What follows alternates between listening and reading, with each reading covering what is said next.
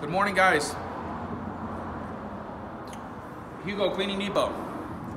These are the things that get me upset. Customers want to try to save money and go to another shop that doesn't know what they're doing. And I want to show you, because of one thing, how big of an issue they have now. Come on. That belt right here, B44, is supposed to be, like it says on the manual, an A43.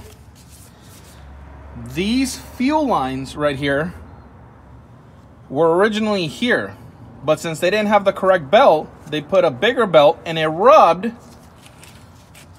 You see, right, I don't know if you can see right there. You see that? That's a fuel leak. Let me show you the fuel leak. Right there, all that fuel, all that fuel coming out. So, once again, go to a reputable shop, pay the extra little bit, that extra $10, $15 an hour, because at least I know what I'm doing.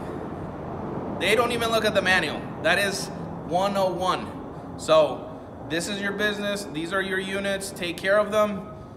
Make sure where you're going is reputable. Stay warm, my friends. Cheers.